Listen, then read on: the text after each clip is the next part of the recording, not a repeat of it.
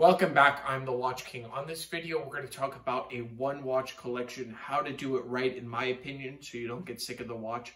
And this is really why Rolex is king, because no other watch brand, uh, in my opinion, can do this like Rolex can. So let's hop straight into right into it. We're starting with the day date. Now, this is a stand-in for anything.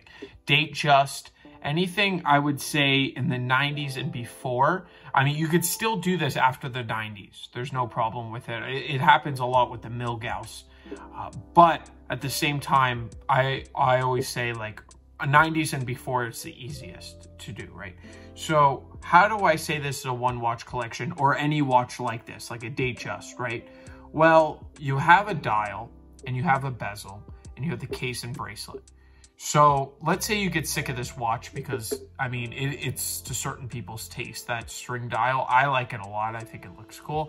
But let's say you get sick of that and instead of buying a new day date, which a lot of people might do, like the day date collectors out there, and there's nothing wrong with doing that, but to save a ton of money, let's say you go and you get this. Now, this particular example I'm showing you right now, I want to mess with you mess with it too much because of it has all its there you go right so this is an original black dial for the day date you would get it in this exact watch right uh, and this is a yellow gold model uh, because you can tell with the text on the day date there beautiful. It's actually pretty, it's rarer. I don't want to say it's a rare because I don't like saying things are rare. The string dial is actually rare. The black dial, a lot of dealers like to say it's rare, but it is still a stunning dial. I like it a lot more in champagne.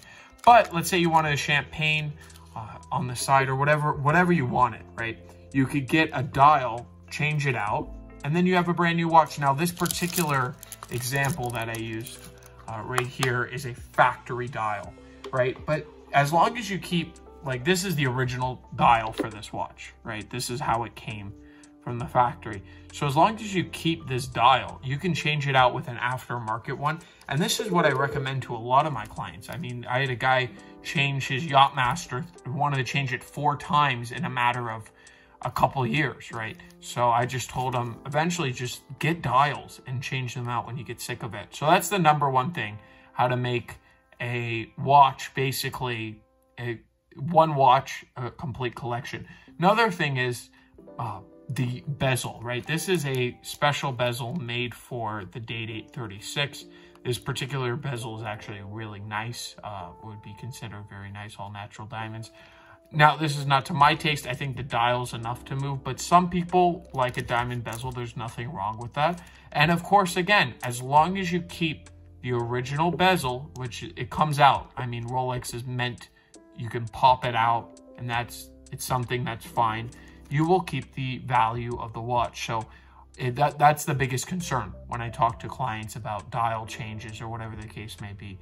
Uh, so that that's that. Um, if you have any questions or looking for this or any other vintage watch, definitely email me down below. This was a short one today, just explaining how you can make your uh, watch feel brand new without getting a new watch. So I want to thank you all for watching and I will definitely catch you in the next one.